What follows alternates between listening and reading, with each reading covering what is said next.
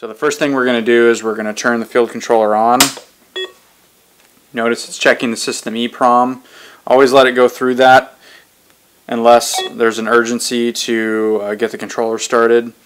This is the startup screen. It's done with the EEPROM check. Hit data table. Okay, we're going to select the table first, make sure we're on the right table. In this particular example, we're going to be using table 2. If it wasn't already selected, I'd hit 2 and then enter. Now we're going to hit 0 to edit the table. So now we're in the table editing mode. So you notice you have a few different metrics here. You have line number, shot number, time, pre-fire delay, that's the PFD, address, and caliber number. Okay. Line number, that's your event line. So each line of a script is a different event. It's something different that's going to occur. Each shot could have numerous events associated with it. An event is something actually occurring. So, for example, for shot one, we could have five different events occurring. If we had five different positions and wanted five different shells to fire in a zipper fire format, we would want five different events for shot one. Then you have a time associated with it.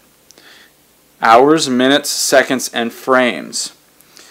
Hours, minutes, and seconds are pretty self-explanatory. Frames, just like in video, you're going to have 30 frames every second. So you have 30 frames for every second.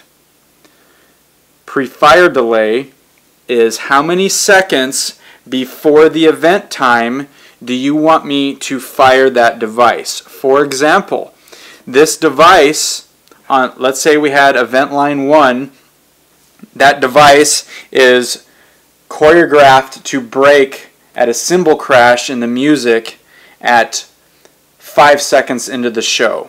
But if we know that that particular shell takes three seconds from the time it's initiated to rise up to apogee and break, then we'll want a pre-fire delay of three seconds. That way, when the computer is in auto-fire mode, it will compile the data table such that it will shoot that shell three seconds before the event time. So if the event time is at 5 seconds, at 2 seconds, that shell will actually fire. So that right at 5 seconds, the shell breaks in the sky. Your address corresponds to the address of that particular device out in the field. The first two numbers in the address correspond to the module number, and the last number corresponds to the actual cue number on that module. All of that is in hexadecimal, 0 through F. Caliber number can mean two different things depending on if you're in manual fire or auto fire mode.